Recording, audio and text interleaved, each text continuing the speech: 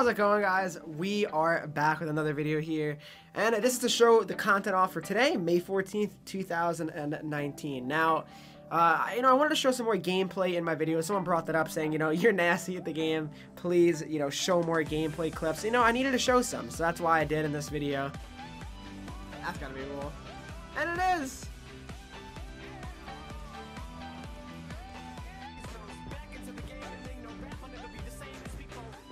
Is it absolutely true? Really? There it is. What if I Mike Richards was a great card? Yeah, Mike Richards don't shit anymore. Yeah, I mean, probably gonna make me quit. And you know, it just, I think it's important because I mean, like, people do like to see gameplay as well. And, uh, you know, I'm kind of a hypocrite because I used to say that, like, you know, I always wanted to include, you know, a good amount of gameplay in every video that I uploaded. So now, I'm trying to get back to that. Um, I've been trying to, the thing is, when I end stream, it's always like 5.30.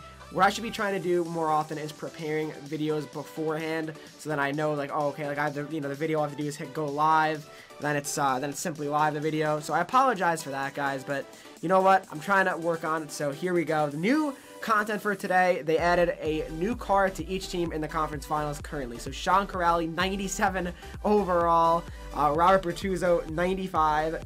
You got Nyquist, 95, and 93 Svechnikov. All really, really good cards. I'm going to quickly go through them, guys. Uh, we have the time. I mean, why not? Video just got started. So here we go.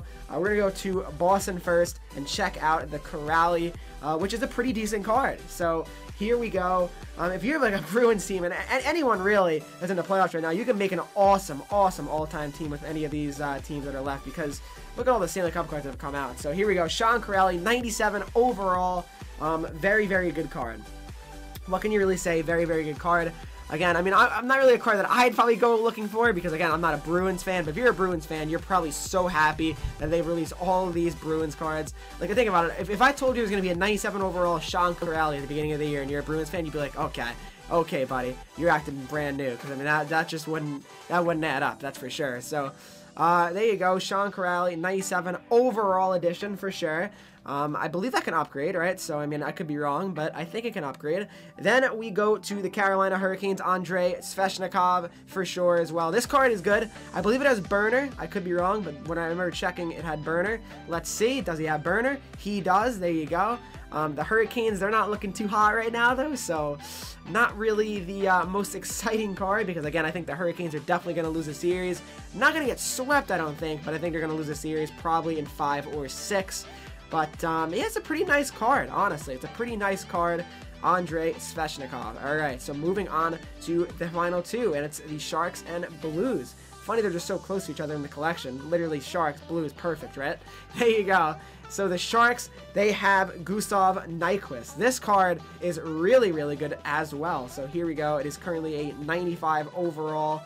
And here it is. I mean, 93, 93, 94, and 93 for a shot. The synergies aren't great. The beauty's an okay synergy, but uh, probably for the boys and Burner are better synergies um, at this point in the year for sure.